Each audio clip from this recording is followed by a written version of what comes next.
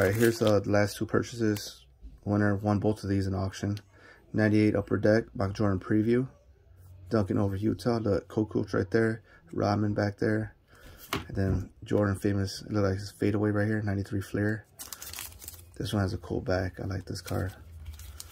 So both cards are sleeved. I throw it in cardboard. Putting cardboard between each card like so. And then we will close it up like so. Bam, bam, bam, bam. Then I'll, I think this one is uh, folded the other way. See if I can put a thank you note right here. It's basically uh, keep the cards in place and same time saying thank you for the purchase. If you can, leave positive feedback. You can't, no big deal. got that, that, that. Throw in a bubble mailer. Should fit nice and snug except this thing is hanging off the top. I have to do it the long way, huh? Yeah, it's not gonna fit like that. It's gonna go a long way. I try to put it horizontal.